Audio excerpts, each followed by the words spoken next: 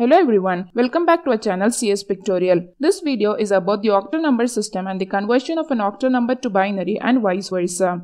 Octal number system is a base 8 number system as it uses 8 digits from 0 to 7. An octal number can be represented with just 3 bits in binary. It is used for representing Unix file permissions. The octal to decimal conversion is explained in our previous video. Kindly check the link given in the description. First is the octal to binary conversion. These are the steps to convert base 8 octal number into base 2 binary number. We will understand these steps with simple examples.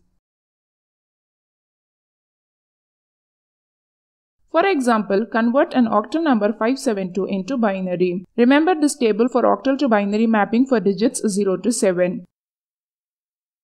Replace each octal digit with corresponding binary value.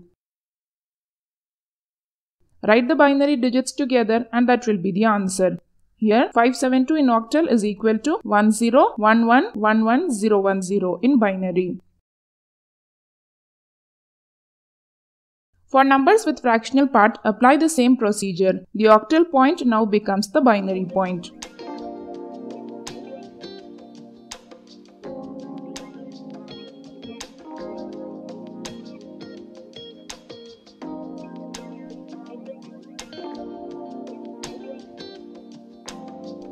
So 36.14 in octal is equal to 111110.0011 in binary.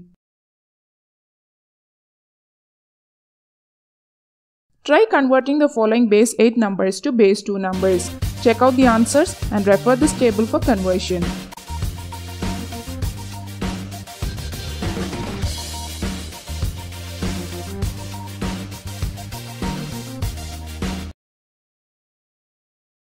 This is the reverse binary to octal conversion.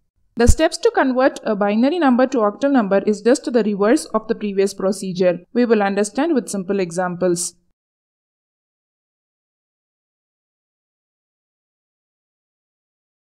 To convert a binary number, group the binary number into 3 bits.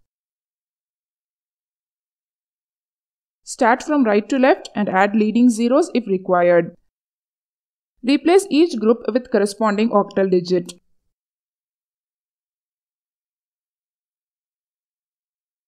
So 1010111100 in binary is equal to 1274 in octal.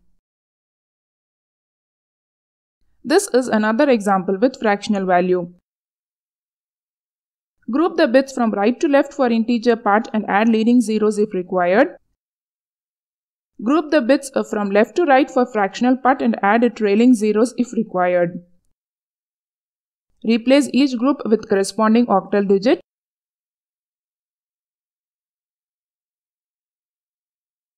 And your answer will be 10110.0111 in binary is equal to 26.34 in octal.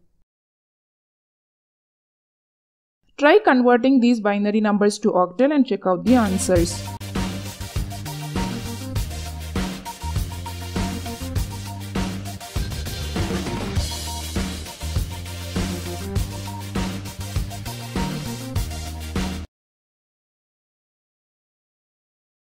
Okay then, it's done for today. Hope the explanations would have been simple and clear.